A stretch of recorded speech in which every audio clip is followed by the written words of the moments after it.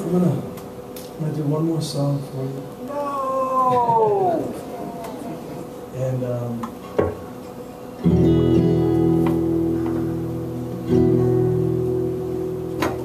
someone's in my harmonica. Where's my harmonica? I um, I am so grateful uh, that you guys came to listen to these songs. And, uh,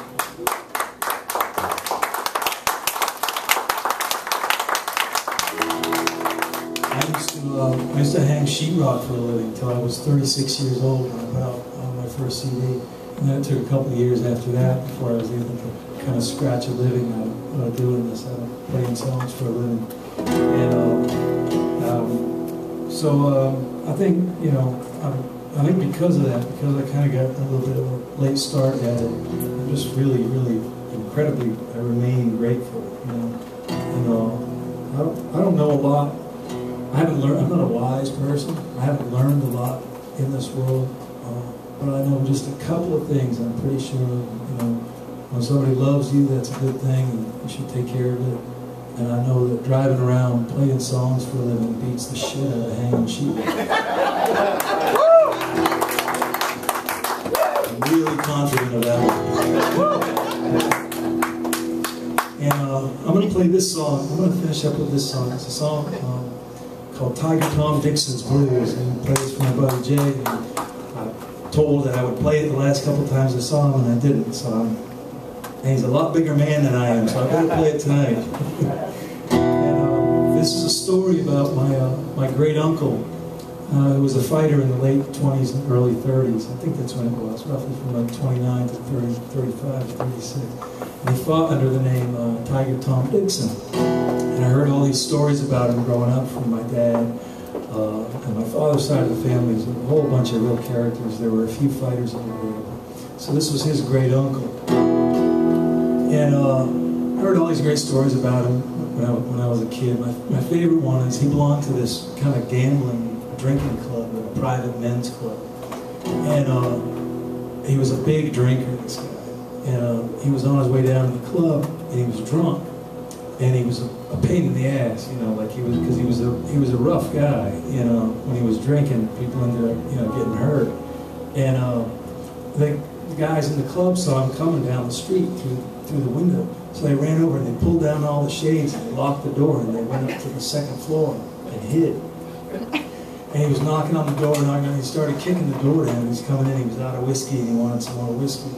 He opened a window from the second floor and yelled, that, yelled down at him. And they made a deal that he'd go away if they lowered a bottle of whiskey down to him on a piece of rope.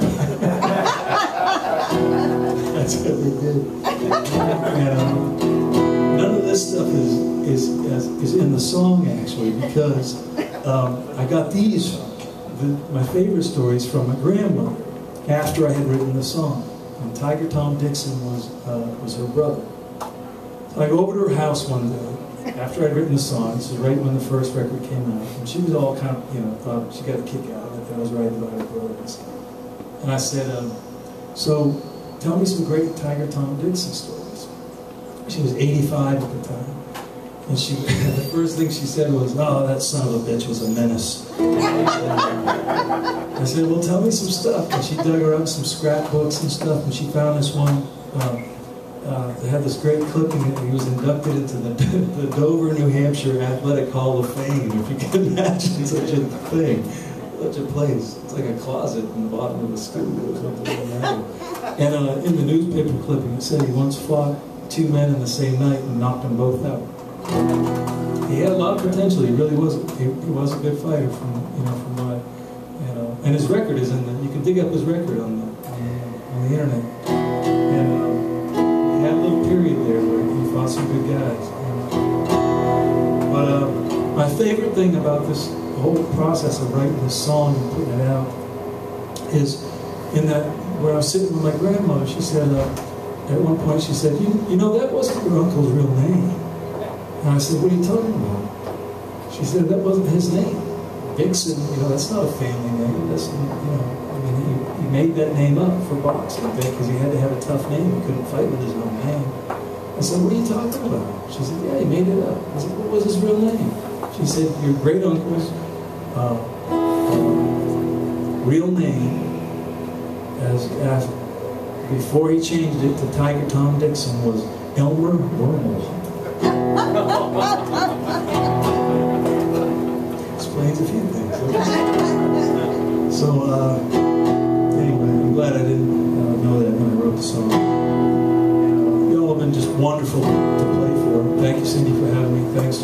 beautiful job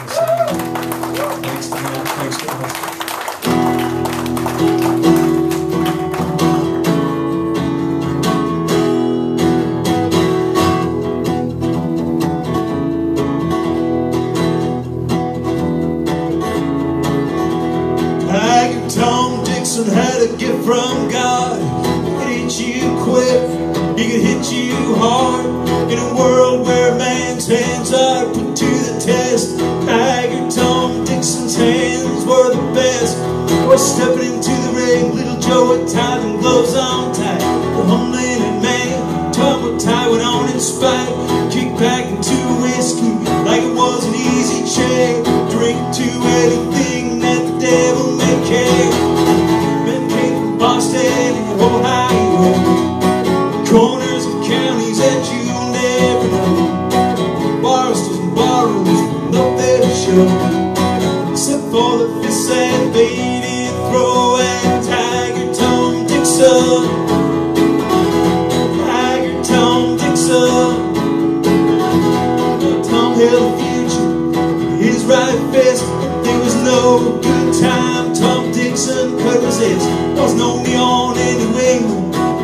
Of it. Was no white lightning.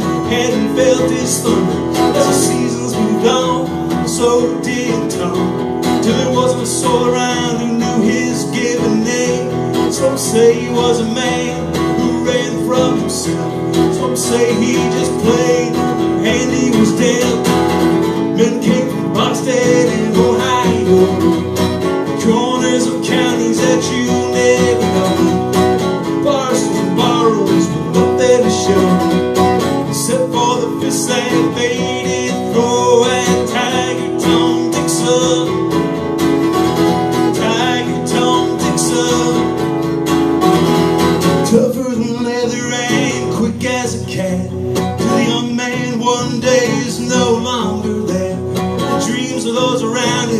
Sink to the quick.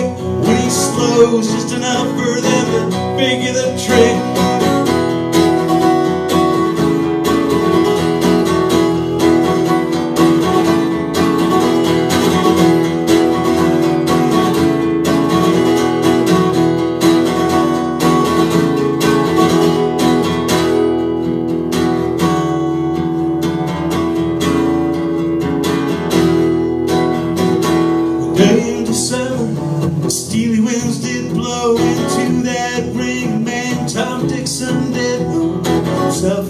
Bottle. The dream had facts. Two times dreamed with a man he never looked back. So would around that bottle for a couple of years to leave us put in the ground by his own fears.